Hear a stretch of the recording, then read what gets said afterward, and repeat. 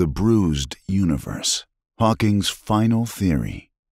On the 14th of March, 2018, mankind lost the talents of Professor Stephen William Hawking, a theoretical physicist, cosmologist, and occasional Simpsons character, whose work enabled us to understand the universe like never before.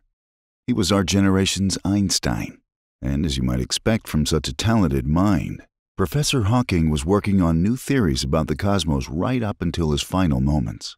Specifically, a theory which attempts to reconcile our understanding of physics with the potential existence of parallel universes.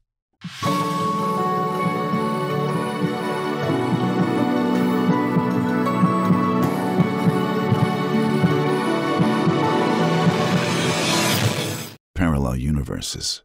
Professor Hawking spent many decades of his life working on theories which would explain how our universe is but one of many universes which are parallel to each other. If they exist, these parallel universes do not sit directly side by side, but instead occupy the same space, along with every other universe which all form part of a wider multiverse. This means that we are currently experiencing just one layer of reality by interacting solely with our own universe. It is a crazy idea for sure, but it is one which is firmly rooted within our understanding of quantum mechanics. Quantum mechanics might be a bit too complex for us to explain right here, though, so let's break it down in terms we can all understand. Imagine if the Olsen twins were magically fused together, not in some freaky conjoined twin situation where they've only got one head and half a butt cheek each. Just imagine if they occupied the exact same body. I don't know how this happened. Maybe the stronger Olsen ate her twin in the womb, or perhaps they merged symbiotically like two balls of hot slime. Either way, put that image in your head for a moment and ask yourself a question. If each twin occupied the exact same body, if they used the same pancreas, the same brain, and all the same cells, how could you tell there were two of them who stood before you? Is one of them screaming? Has Mary Kate tried to punch herself out of Ashley's abdomen? This is the problem we've had when trying to prove the existence of multiple universes. We are not yet sufficiently advanced enough to be able to delve deep down beneath the surface and identify the signs of other universes which exist alongside our own. Professor Hawking wanted to change that, and if he couldn't provide the answers today, he at least wanted to set the foundations for future physicists to find them tomorrow. Not literally tomorrow, but you know what I mean. Therefore, Hawking's final theories were less of an attempt to prove the existence of the multiverse, and more so a roadmap for how future generations might go about proving it themselves. And Hawking believed that the focus of our inquiries should be an area of the sky known as the cold spot which some scientists believe could be evidence of our universe's cosmic collision with another parallel universe. The Bruise. Also known as the CMB or WMAP cold spot, cold spot gets its name due to the fact that it appears to be much colder than the area surrounding it.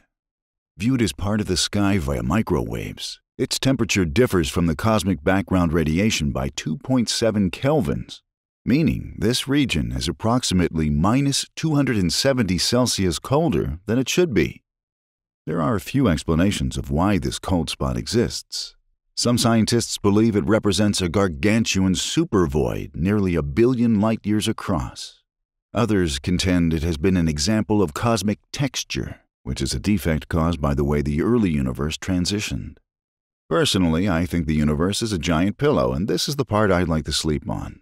Or maybe it's a region of space entirely populated by stepdads who keep turning the heating down. But Professor Hawking and many others think differently. They believe that this cold spot is a bruise, a bruise formed by our universe colliding with another. The professor discussed this in a final March update to his 2017 paper, A Smooth Exit from Eternal Inflation where Hawking and Thomas Hertog tried to solve an issue regarding the Big Bang. An idea presented in 1983 called the no boundary theory describes how our universe began as a tiny point, which then instantly inflated into an early version of our current universe. However, if we accept this as true, then we must also accept that another part of the theory is also correct. The part which predicts that our one Big Bang was accompanied by an infinite number of others, each of which produced another separate universe. This explosion of multiverses should have left some kind of imprint on our universe's cosmic background radiation, and Hawking believed that the CMB cold spot could be just that a giant cosmic bruise from which the bubble of our early universe started a little bump and grind with another hot young universe during their inflationary phase. Sounds naughty, but how could we go about proving this without discovering some sort of cosmic sex tape? Laura Mersini Houghton is another theoretical physicist and cosmologist who is also a believer in the existence of the multiverse. In 2007, a team led by Mersini Houghton concluded that the CMB cold spot was the unmistakable imprint of another universe beyond the edge of our own. And she further concluded that this theory should be testable by finding its twin cold spot on the opposite hemisphere of its celestial sphere. The CMB cold spot is centered within the southern celestial hemisphere in the direction of the constellation Eridanus. So if we want to find the Mary Kate, to the cold spots, Ashley, we need to look for a big old patch of frigidly cold space in the northern celestial hemisphere. Computational analysis has predicted the potential existence of a northern cold spot, but so far we've yet to find direct evidence of its existence. Another way we could prove that the multiverse exists is through the use of deep space probes, which could hunt down and analyze small traces of background radiation left over from the creation of parallel universes. The technology to conduct such an experiment is a long way off. But we needn't be disappointed or short termist about this. The fact is that for the first time, thanks to Hawking's work, we now have a theory regarding the composition of the multiverse, which can be tested through human experiments. We may not be able to test it today, or tomorrow, or even 10 years from now, but one day, Hawking's theories on the nature of the cosmos and reality will be able to be verified. If they're wrong, we'll no doubt learn some other interesting information on the way, while also ruling out one of the many possibilities for the state of our universe. But if he's right, if this theory leads us to being able to prove the existence of multiple universes, then one can only imagine what impact such a discovery might have on sentient life. We're going to talk about this in our bonus video, Life in the Multiverse, which you can watch in our Patreon page at patreon.com slash strange mysteries. For a $2 a month pledge, which you can cancel at any time, you'll get to watch this and all of our bonus content which goes deeper and darker into every topic than YouTube allows. If you don't want to donate, then that's fine. Bullshit. We know you wanted more. Strange Mysteries on YouTube and our Patreon bonus videos weren't enough to quench your search for truth, to give you that sense of awe and wonder again, to go past what you thought was the end, to give you the answers you seek, but which only lead to more questions. That's why we just upped the stakes chemicals of reality. Reality, consciousness, brains. What else is there? Ask yourself that question. Perhaps that's all there really is, but perhaps everything else is found within a place where these ideas, these things, overlap. Some thing, some place that is undefinable. To many people, altering certain chemicals in their brains produces what they would simply call hallucinations.